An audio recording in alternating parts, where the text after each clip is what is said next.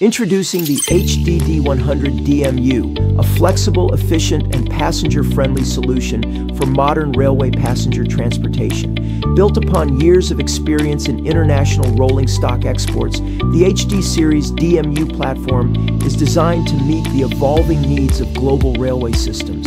Drawing from both power concentration and power separation technical architectures, this product line supports a wide range of track gauges, axle loads, and rail conditions, offering unmatched adaptability.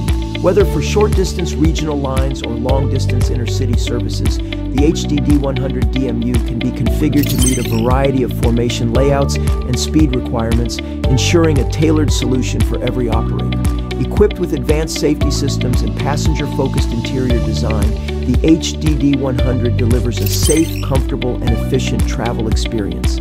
Spacious cabins, ergonomic seating, noise-reducing design, and energy-efficient systems make it an ideal choice for modern railways looking to enhance service quality.